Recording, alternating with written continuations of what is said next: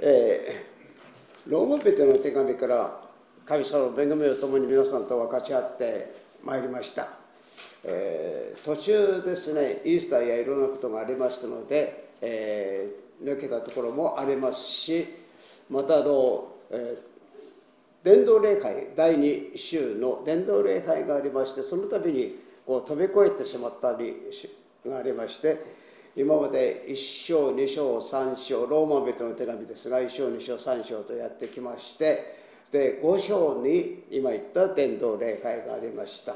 6章のところに今度は洗礼式が入りましたものですから6章のところの洗礼ということについてお話をさせていただきました。4章が抜けたんですね。やっぱり聖書の言葉を抜かして読んではいけないなと思います。虫食いの読み方では良くないわけでありますからえ今日は4章から神様の恵みを共に、え分かち合っていきたいとそのように願っております。4章の、えー、この「ローマ人の手紙」のところですね。今までずっと読んでまいりましたところをもう一度思い起こしていただきたいと思うんですけれども私たちは特に3章のところで4章の前の3章のところにおいて私たちが救われたのは3章のそうですね今4章開いてますから3章1ページだけ元に戻していただきますと3章の22節のところを見ますとすなわちイエス・キリストを信じる信仰による神の義であってそれは全ての信じる人々に与えられる。何の差別もありませんとこう書いてありますね。私たちが救う義と神に義とされるということは、うん、なんか難しい言葉のようにも思いますが神の前にその私たちの存在そのものを正しく認められるということなんですね。私が何の心の限りもなく神の前に立てる存在となるということ。これが救われるということです。私たちは何か救われるというと何か特別なこの溺れてるそこから救われることもそういうこともあります。けれどもその救いということの別の言葉で義とされる神の前に義とされるということは神様の前に何のてらいもなく立てる存在となるということなんです。これが義とされるということなんですね。ところがそのそういうような状態に人間はできなかった。なぜならば人間は神の前に立つ時にまともに神様の顔を御顔を仰ぐことができないような心の屈折した状態。これが罪ですね。もともとの罪。だから罪というのは何か特別なもうハレンチなことをやったとか行ったとかということももちろんそれは罪には違いないんですが根本的には私が神の前に顔を上げて晴れやかに神様と顔と顔と合わせることができない状態。これが罪と言われるんですね。まあ、一番最初のあのアダムとエヴァのところを思い起こしていただけば分かると思います。神様とそれまでは何のてらいもなくもう自由にですね神様と交わりができて「アダムや」と言われたら「私はここにいます」と言って答えるちょうど皆さんの家庭の中でもですねお父さんやお母さんが子供たちが朝、えー、起きてきて食卓に一緒に寝た時に「おはよう」と言って声をお父さんやお母さんが子供に声をかけた時に何から屈折したものがあると顔を見上げて「おはよう」と答えることはできない。下を向いて「うん」って感じになっちゃうかもしれない。これが正しい関係ではないわけですよね。神様との関係もそういう関係になってしまっていてはいけない。ところが神の前に義とされる信仰とはどういうことであるか。何か私たちが良い行いをしたためでしょうか？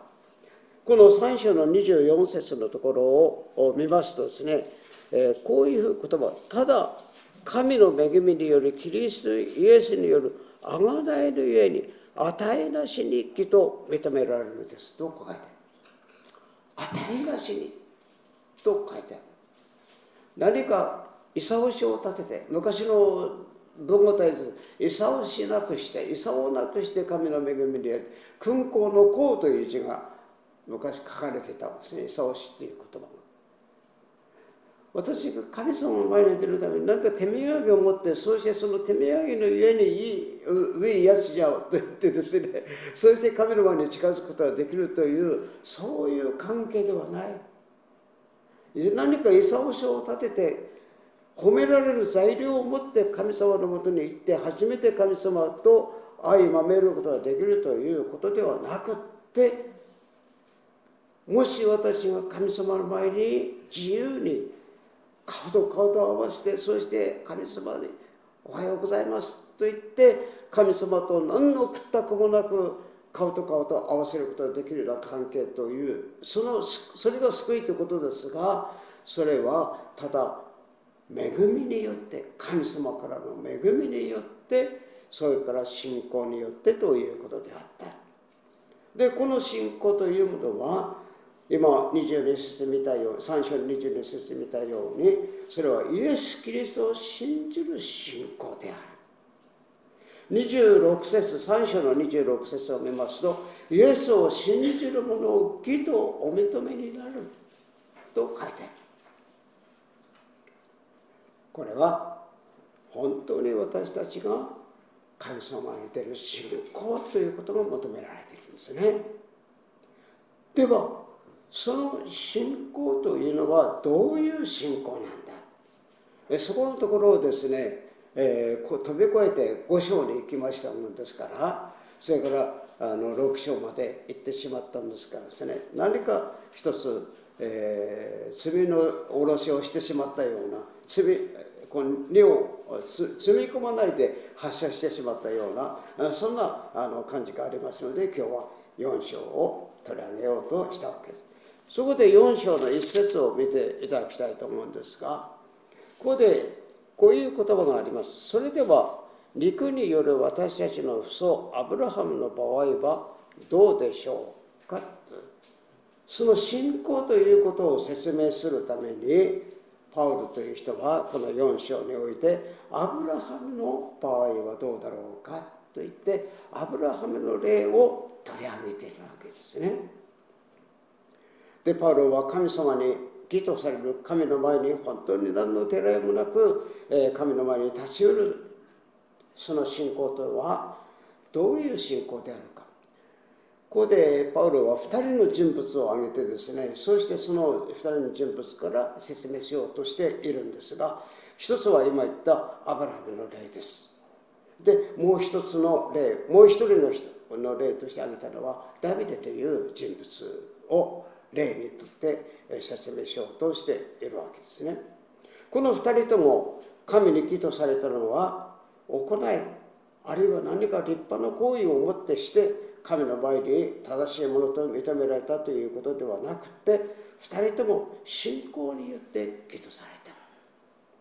まあ後の機会今日はアブラハムに限って、え、お話したいと思いますがまたダビデの場合を取り上げることもできると思いますもし人が行いによって義とされるとするならば人は自分の信仰に誇ることができる。行いというものには必ず報酬が伴いますね。皆さんが会社でお勤めになってお仕事をされているのはそれは皆さんが労働力を提供する。それによってそれの報酬としてお給料をいただくわけですね。ですから行いというものには必ず報酬が伴います。ご褒美が伴いますね。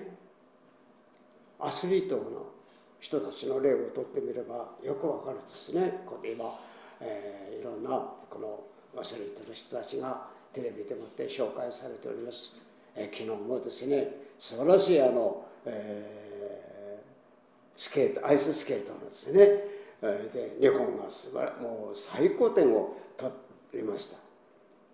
でもあのアスリートの人たちがあるようなご褒美をいただくためにはどれだけの努力をしたことかもう私たちの想像もできないような影に隠れたところで一生懸命練習をして努力をして、えー、そしてその結果あの冠をいただくことができているわけです。ですから彼らはですねその冠により誇ることができる。でも私たちの信仰の私たち信仰者たちも冠を与えられてるんですよ。聖書にいろんな冠のことが書いてあります。義の冠とあります。義の冠というのは神様によって正しいと認められた冠です。私は目には見えませんけれどもですね、この神戸に冠がかぶされてる。でも私たちはこの義の冠を得るためにどんな努力をしたでしょうか？どんな努力したともし努力をしてそして義の冠を与えられているんだとするならば私たちは自分の信仰を誇ることができる。見てみろ俺は大したもんだ。クリスチャンになったのは俺のこういう善行を積んだためだ。こういうことをやったために俺はクリスチャンになることができたんだ私はこの神様に正しいと認められるためにありもしたこれもしたありもしたこれもした。こういうことをした。お前たちには想像もできないだろうっていうような誇ることができるはず。でも私がクリスチャンになったということで自慢できるものは何一つない。聖書にもし誇るならばイエス様を誇りなさいって書いてある。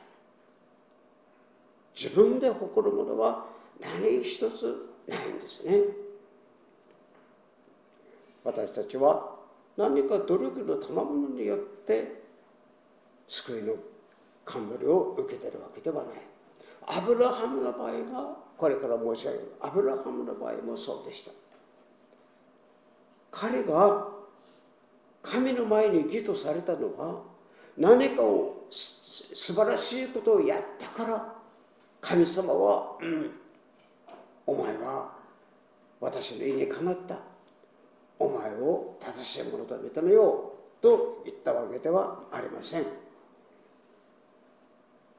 まあこの4章のところでは実はですねテーマになっているのは割礼という問題です。これはユダヤ人たちの宗教的な儀式の一つですね。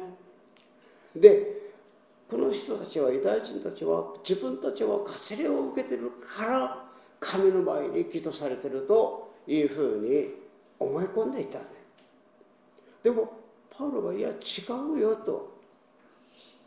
そうではない順序が反対逆ですよっていうことを言ってるんですね。もちろん割礼には割礼なりの割礼としての意味がありますしまたそういったものについて説明することもえですねいろんな宗教的なそのあるいはその地方そのあの時代のそしてその地域の文化宗教でもありまた文化でもありますそういった慣習でもある。でそれについての霊的な意味も確かに聖書は教えています。でも割礼ということが信仰の基準ではないですよということをパウロは言ってるわけアブラハムがその割礼の前に神の前に義とされています。ということでアブラハムの例を挙げるんですね。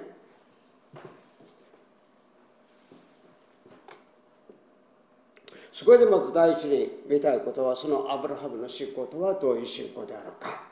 第一に見たいことはそれは望み得ない時に望みを抱いた信仰だったという。18節4章の18節今日読んでいただいたところ。あ18節が彼にここあここに書いてありますね。彼は望みない時に望みを抱いて信じました。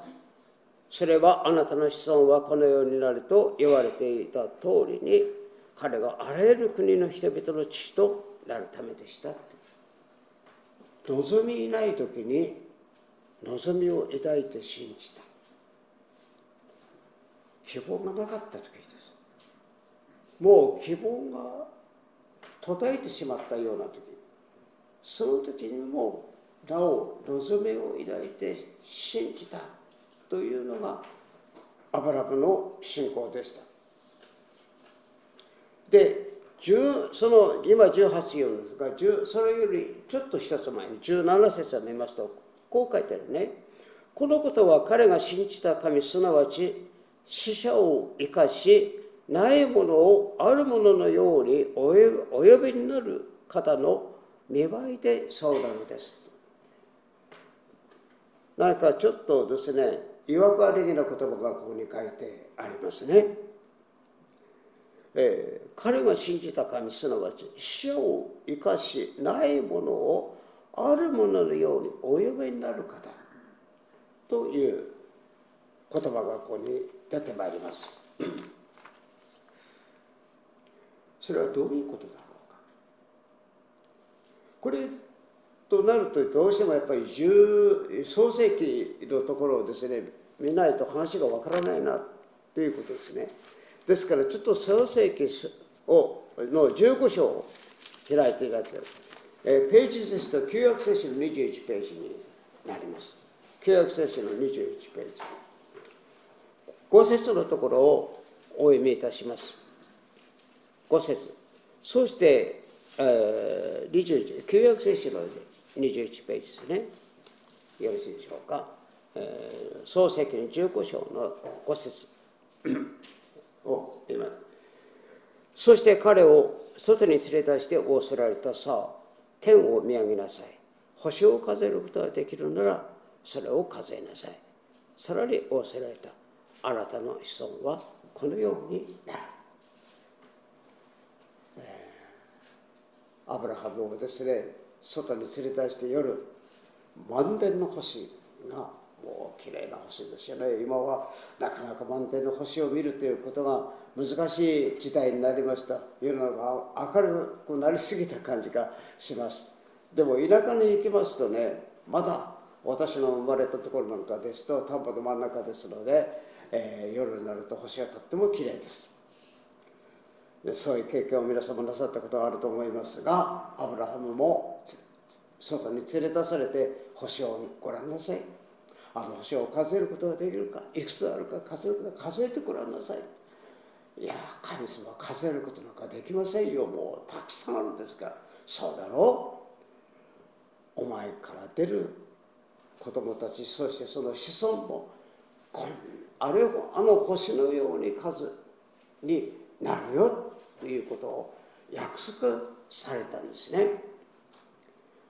で神様がそういう約束をされたその約束を6節を見ますと何と書いてあるでしょうか。15章の6節に「彼は主を信じた」「主はそれを神の義と認められた」と書いてある。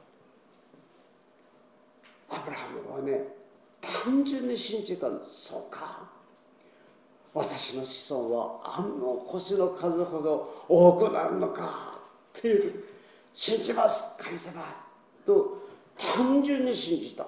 で神様はその信仰を義と見てえどうです？神様が義とした信仰の前に何かアブラハムがいいことをした？何にもしてないですよね。それをただ信じただけなんです。それが神の前に義とされたと書いてある。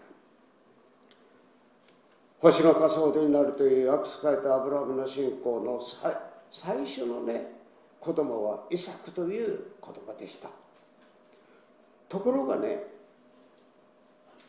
同じこの漱石の22章を見ますとそこはこう開かなくて結構ですが、え、22章を見ますとね。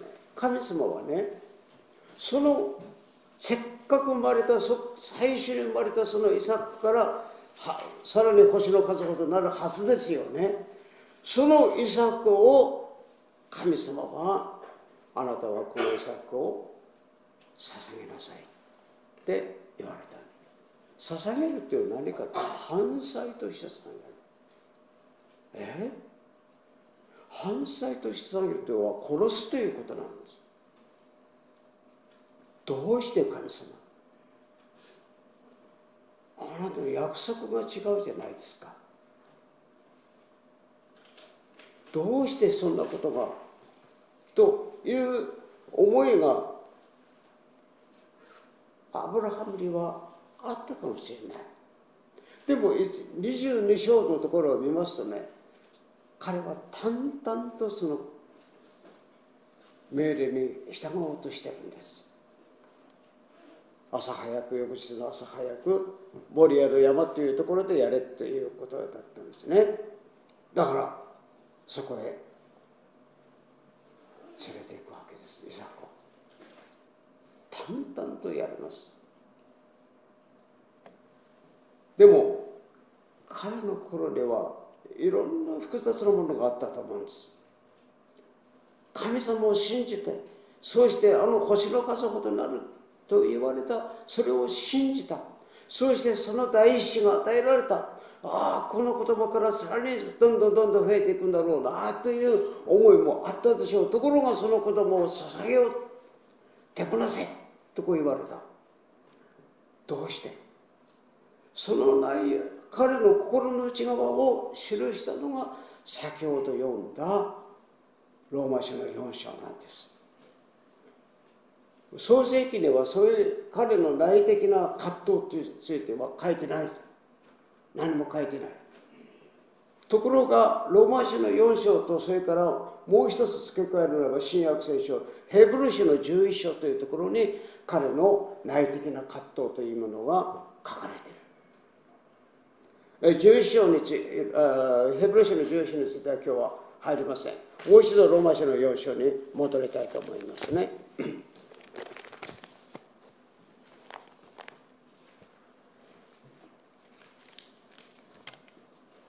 ローマ書の4章のところに戻りたいと思います。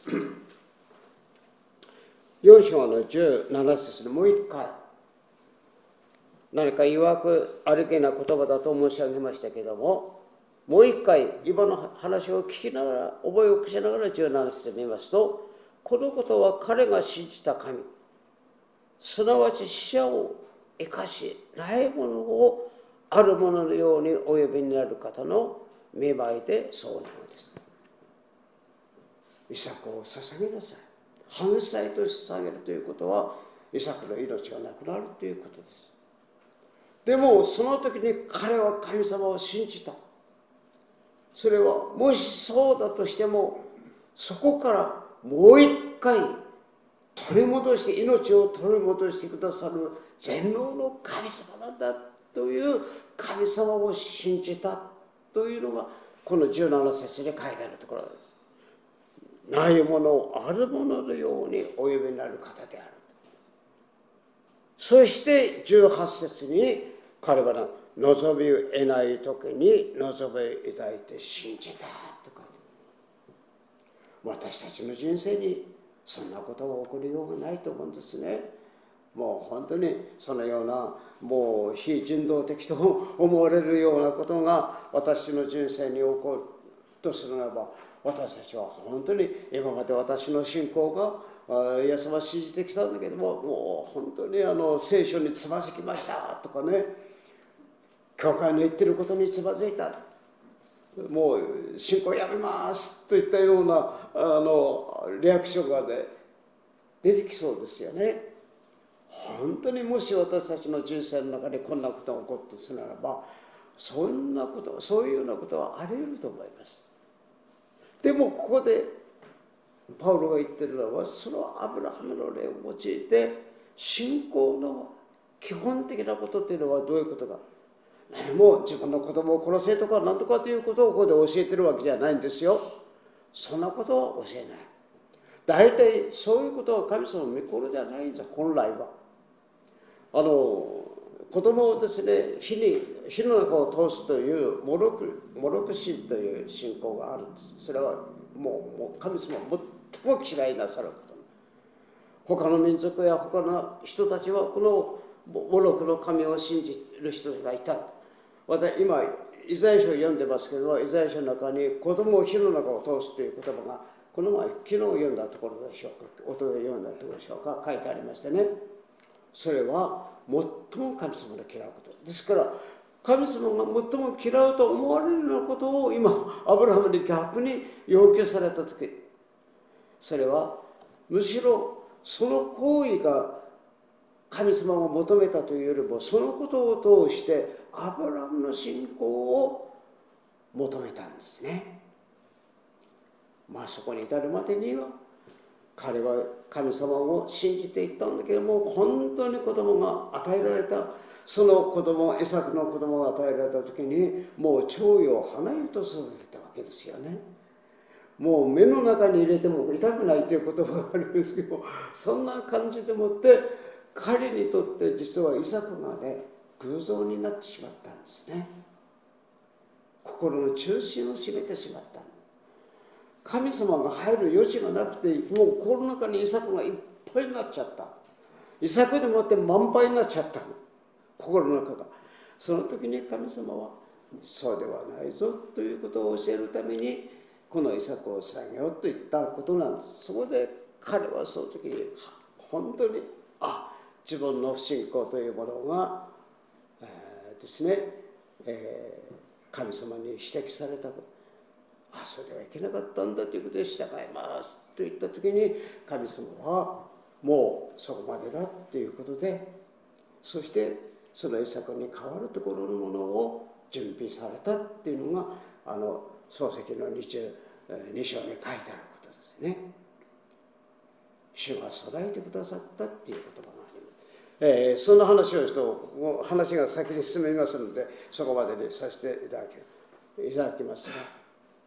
アブラハムの信仰とはどういう信仰だったのかそれは希望が途絶えてしまったと思われるような時でもなお神様を信じた信仰だったという望み得ない時に信じた信仰であったという。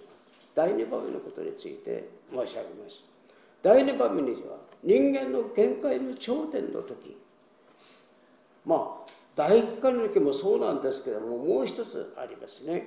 人間の見解の頂点の時に信じた信仰であるという。19節を見ていただきたいと思うんですが、ね、え4章のですね。19節。アブラハムはおよそ100歳になって自分の体が死んだも同然であることとサラの体の死んでいることとを認めてもその信仰は言われませんでした。これまたどういうことであるかこれは先ほどはイサクが生まれてからの問題でありますがこれはイサクが生まれる前の問題ですね話がここで前後してるんですけども時系列に言いますとこれ順序が逆になってますがしかしここではどういうことであるかというと人間の常識とか自分の経験とか人生経験とかというものから見てもちょっとそれと相反するような神様の約束というものに対して直面した時に戸惑う時がありますね。アブラハムはまさにそういうことです。どういうことであるか先ほど言いましたようにあなたから出る子供が星の数ほどになっていくと言われたんですけれども結婚しますとですね子供が生まれることがもう誰でも期待します。しかし1年経っても2年経っても子供が生まれないまあそうするといろいろとですね心配になりますそれが5年10年そして20年30年なってしまいます。実は私たちにも子供がおりません。だから結婚したのは私が佐賀に開拓店大和県の佐賀に開拓店としたばかりの頃ですね2年目に結婚しました。曲がりでもってあの教会を始めたんですけどもその家家主と言いましょうかおばあちゃんが出してね顔を見るために言うんですね。伊藤さん赤ちゃんまだか？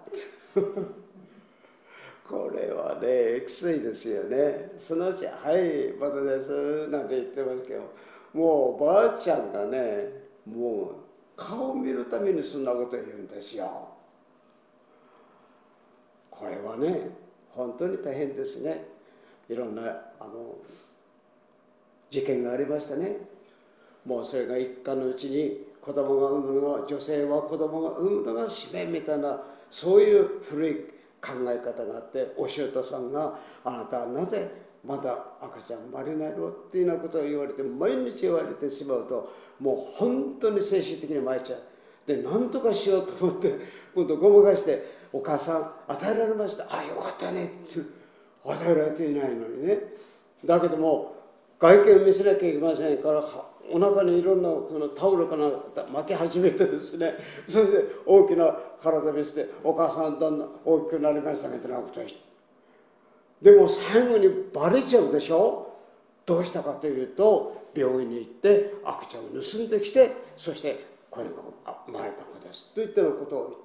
犯罪ですね。まあそれ自体は犯罪ですけどもそこまで追い込む周辺の出来事があった。まさにねもうアブラハムの家族がしかもこれもうおばあちゃんになっちゃった自分もおじいちゃんになった奥さんもサラももうおばあちゃんになってしまった。そんな時に神様が約束してあなたに言葉が与えられる。さすがにサラの奥さんのサラももううふっと話が聞いた時に笑ったって言うんですよ。私に与えられるわけないでしょう神様みたいなところがあった。でもアブラハムはそれを信じたんでもね考えてください。これはね人間の経験から言ったならばもう信じることはできないということです。年老いていますから。ここに書いて自分の体が年老いて死んだも同様であるってここに書いてあるんですね。そんな時に信じたって書いてある。私たちの経験から言うと知識から言うと常識から言うともう神様の約束は信じられない。というようなことがいくらでも起こってくる。もうそういう理由で私は知識がありすぎます。むしろ無知の時代であったならば何にも知らないような時代であったならばそれでもよかったのかもしれないけども私はあらゆる知識をもう持ち始めてしまいました。そしてその知識を持ち始めたその知識は一番最初は善悪を知るところからの知識だったんですけどもそれがどんどんどんどんどんどん膨れてきてそうして今の時代にはもうあらゆる私たちは勉強してきてるでしょう。教育を受けてるでしょう。そして科学的な知識も持ってしまっています。また私たちの人生経験も私たちのその規則的な私たちが経験しているところのことによってこうなったらこうなるこうなったらこうなるというもう大体が分かっているような時代の中に今21世紀にいます。そういう中で神様を信じていくということがどんなに困難な時代であるかということが今の時代です。もちろんアブラハムの時代もそうであったかもしれません。でも彼はどうでしょうか。21節22節を見ていただきたいと思います。神には約束されたことを成就する力があることを固く信じました。だからこそ彼の義を彼の義とみなされたのです。こう書いてる。23あその22までですね。こう書いてあるんですね。それが彼の義とみなされた神様を信じた。さて第3のところに行きたいと思います。ではなぜアブラハムの例を出して信仰ということを話したのかということです。それはアブラハムが目的ではなかったんです。そうではない私たちの信仰を説明するためにアブラハムの例をパウロを持ち出してきてるんです。ですから私たちが義とされる信仰ということですここでは。24節に先ほどの23のところがね。23年。しかし彼の義とみなされたと書いであるのはただ彼のためだけではなく彼というのはアブラハムのことです。彼のためではなくまた私たちのためですと書いてある。パウロはここで言ってることは私たち当時はもちろんこのローマにあるところのクリスチャンたちに対してですがもしかし聖書は全ての時代に適用されます。いやもう私たち今私たちに対して適用されている。私たちの信仰のためにアブラハムの霊を持ち出しているわけですね。その信仰とはアブラハムの信仰とは死者の中からよみがえすることを信じるという信仰だったんですね。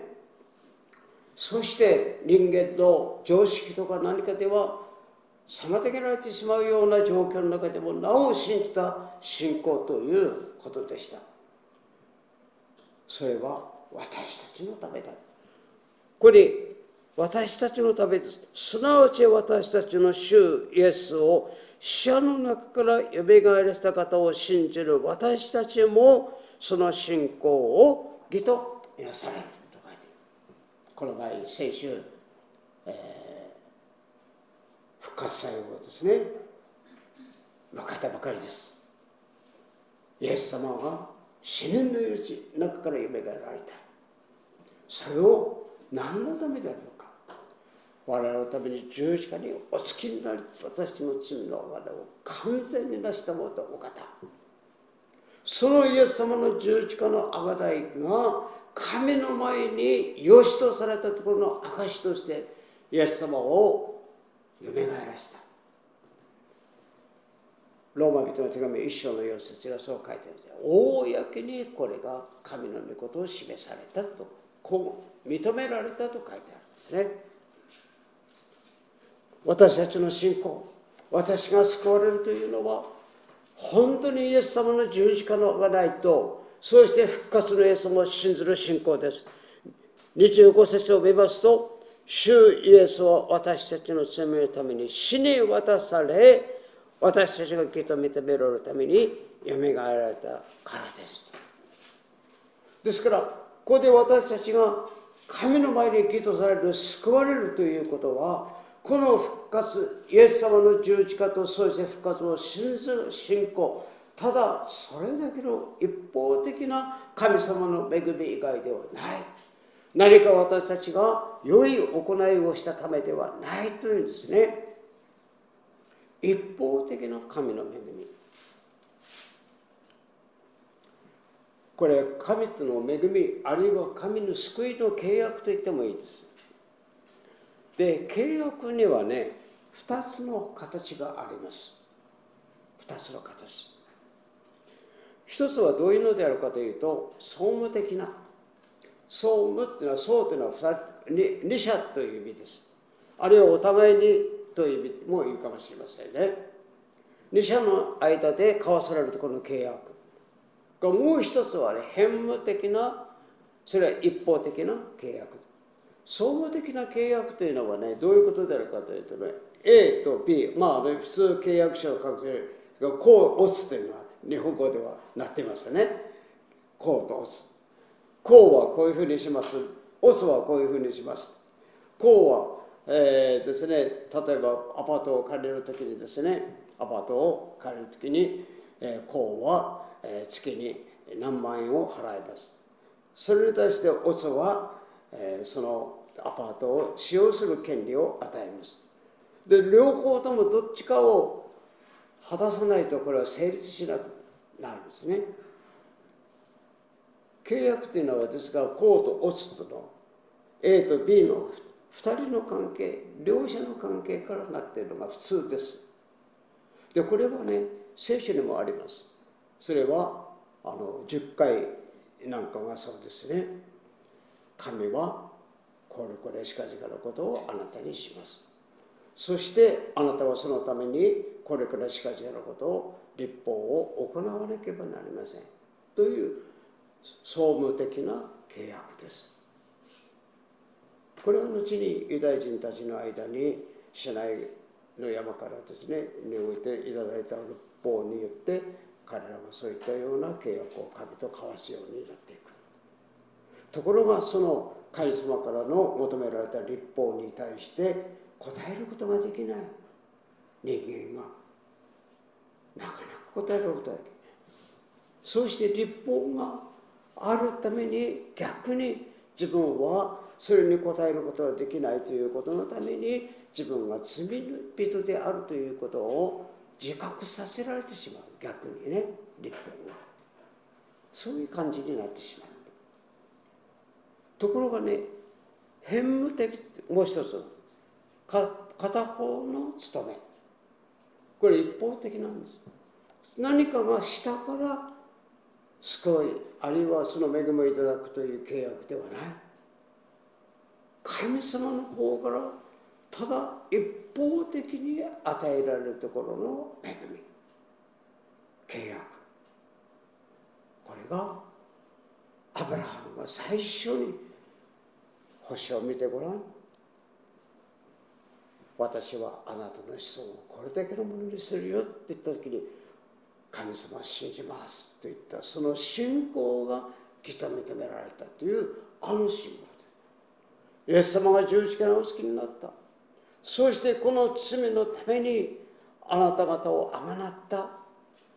だから私を信じるならばあなたは救われますよという時に主を信じますと言った。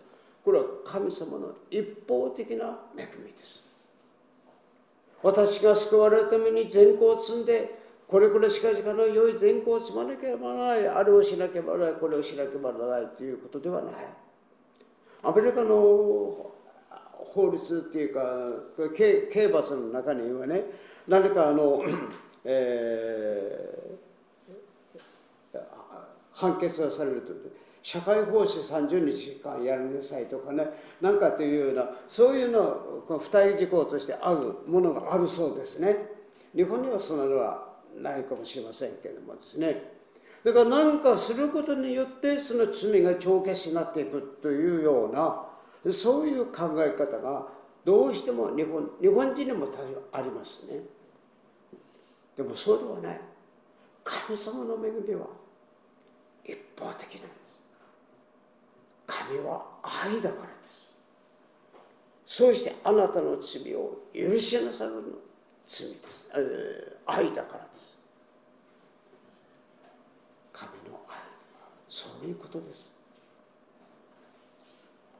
十字架の贖いによってこれは神様の一方的な救いの恵みの御業です。これをただ信じる信仰。イエス様のよみがえりを信じる信仰。私の人生の経験からは不可能と思われるようなことであったとしてもそんな中にあっても信仰の波が不信仰の波が押し寄せてきたとした時であってもなおそれを信じる信仰です。この信仰の告白とはもう一度25節の御言葉に戻りたいと思います。主イエスは私たちの罪のために死に渡され私たちが義と認められるためによみがえられた。これを信ずる信仰です。それは私たちの意志の強さとか私の行いの確かさによるのではありません。ただ神の恵みと信仰による。のどうしても自分の信仰が弱い。あれが足りなかったこれが足りなかった。行為が足りない。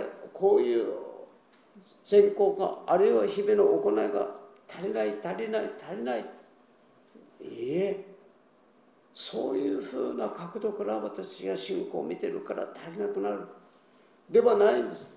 神様の側から私たちのために圧倒的な恵みによって包み込まれているというその事実に目を開くことです。そしてそれが何と驚くべき恵みであるか。アメージング・グレースという言葉がありますね。歌が賛美がありますね。本当に信仰に立つことです。神の前に義とされる信仰とはただ神様が私たちに備えてくださった恵みを私が本当に心から受け止めて信じる。自分により頼もうとする時に手からこぼれてしまう。ああってな感じで失敗をしてしまう。そうではない。握りしめようと思うからいけないんです。握りはね握りというのは寿司だけですよ。ね。手を開きましょう。手放しの信仰です。手放しですよ。あれをギャッとこうね離さないと逃げてしまうからいけない。手放しです。ただ天を仰いで神様感謝します。感謝します。あなたが私たちに与えてくださった救いを感謝します。これが神の前に義とされる信仰です。お祈りいたします。主イエスは私の罪のために死に渡され私が義と認められるためによみがえられたからです。また私たちのためです。すなわち私の主イエスを死者の中からよみがえらせた方を信じる私たちもその信仰を義とみなされます天の地の神様感謝いたします。何の勇しもないもの。何の奴隷もないもの。何の価値もないようなものでした。けれどもそんな私たちをあなたは愛してくださってそして私たちのために十字架において贖いをしてく罪の贖いをしてくださいました。3日目によみがえり天に帰られた主精霊を下して私たちにそのことを確かにしてくださった主を感謝をいたします。神様の前に神の前に立ちる神の御顔を何の手洗いもなく仰ぐことのできる信仰とはこのような信仰であることを感謝いたします。どうぞこの信仰に生きるものとさせてください。イエス様のお名前によってお祈りします。はい